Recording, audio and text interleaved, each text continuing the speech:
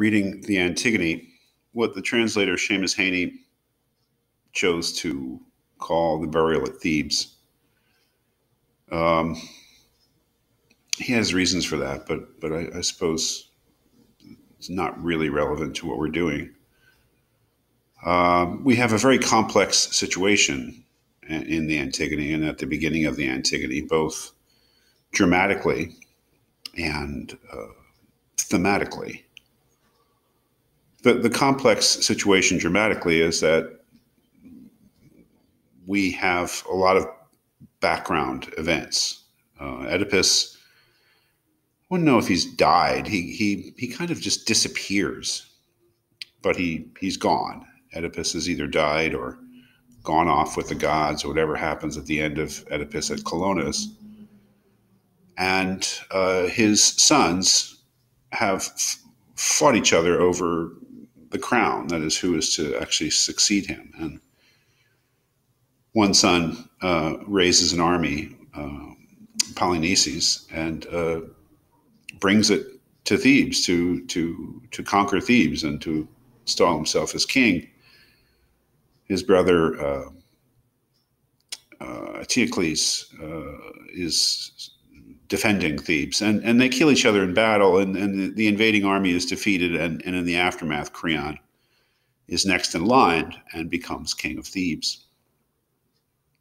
It's all very sort of, yes, complex, and adding to the complexity, of course, is the fact that Oedipus is did what he did, and that Antigone and Ismene, the surviving children of Oedipus, are, are left the sort of devastating aftermath, not only of the shame uh, of their father and the shame of realizing that they themselves are the product of incest, but the uh, the deaths of their brothers. They're all alone now.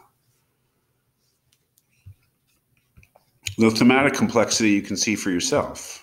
Um, this amazing dialogue between the two sisters emerges as something um, that has all these different factors.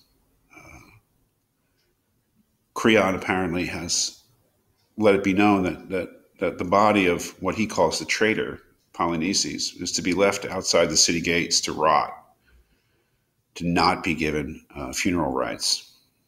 And Antigone, uh, the man's sister, uh, calls upon Ismene to uh, help her do what they can to give him such rites. And, and that, of course, puts her on a collision course with Creon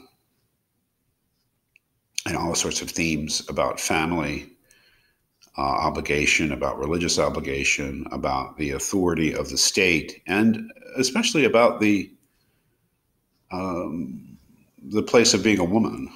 Um, as you'll see, Ismene, one of the things Ismene points out is that as women, they can't hope to succeed in defying authority, that it's just unthinkable. Um, as she says, we're weak where they are strong. Whether it's this or worse, we must do as we're told.